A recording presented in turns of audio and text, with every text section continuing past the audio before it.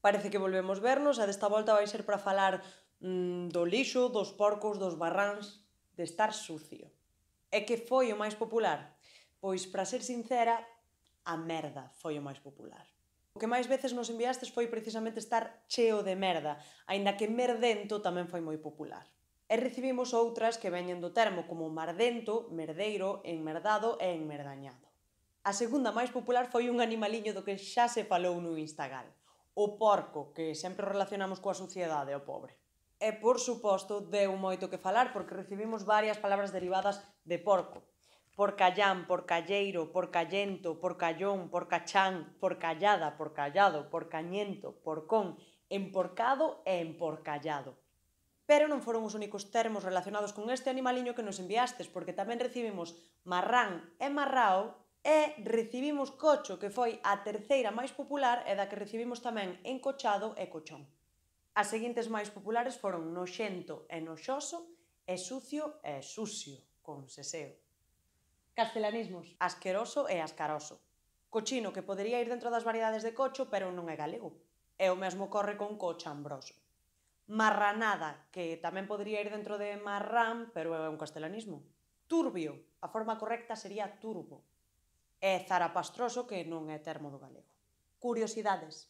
Recibimos moitos termos con variedades dialectais, pero moi poucos con rotacismo. Por iso, destacamos hoxe esta palabra que nos chegou que foi tirnado e que supoñemos que será tisnado, que significa manchado, e que só recibimos así, tirnado.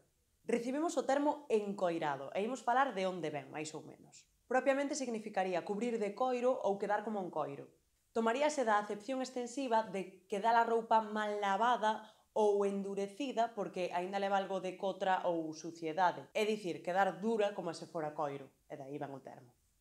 Moitos dos termos que recibimos esta semana son vocabulario que se saca do mundo do agro empoleirado por asociar o poleiro das pitas á suciedade. Estercado, que non fará falta que o expliquemos, é estrado, que ven de estrar, preparar a corte para o gando. Tamén temos que contar que moitos dos adxectivos que nos enviastes fórmanse a partir dun sustantivo que significa capa de suciedade. É o caso de cotroso, que ven de cotra, lordo e enlordado, que ven de lorda, reloso, que ven de rela, e roñoso, que ven de roñe. Outros que nos enviastes falan dunha sociedade específica, é dicir, estar manchado de algo en particular. E isto xa pasara cando puxemos a palabra porco. Baballado sería estar manchado de baba, embarrado e embarroado estar manchado de barro, e enlameirado estar manchado de lama, e o mesmo sería cando falábamos antes de enmerdado, enmerdallado e todo isto.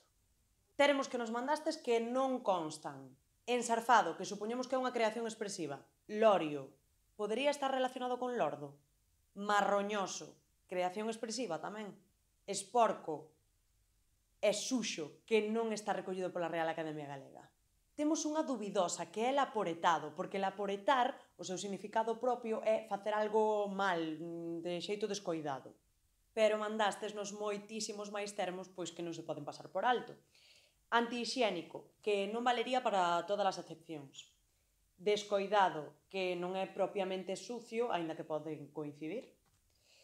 Enlarfoteado, que supoñemos que é un cruce entre enlarafuzado e larfón, que é unha persoa que come moito, eh, sempre relacionamos o de comer moito pois co de mancharse e todo iso. Luxo, con lixento e lixoso. Estar perdido, que tamén foi moi común. Cheirento e fedento polo olor que desprende a sociedade. Desobado, enzoufado, manchado, evidentemente, emboutado, enlarafuzado, lafozado, que supoñemos que é unha variante de larafuzas, é mouro, negro e negro, que é todo isto pola cor da sociedade en sí.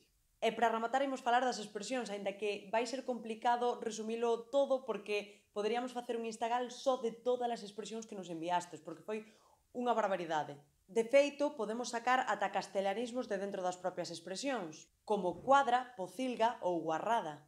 Tamén moitas das expresións que recibimos eh, estaban vinculadas ao mundo do agro. Por exemplo, estar como un maseiro. O maseiro é o, o sitio de onde comen os porcos. Ou ter máis merda co pau dun jaliñeiro, que é moi típica esta expresión. Ou estar que parece o poleiro das pitas. Tamén cousas como isto parece o cortello das vacas ou isto é unha esterqueira pero de todas elas a que máis éxito tivo, mm, despois de estar cheo de merda, por suposto, foi estar feito un Cristo. E con isto penso que xa é dabondo, porque vai a traballiño nos testes esta semana. Moitas grazas por estar aí, por ver estas historias, por contestar, e estade atentos unha semana máis ao que poñamos mañá no Instagram. Grazas.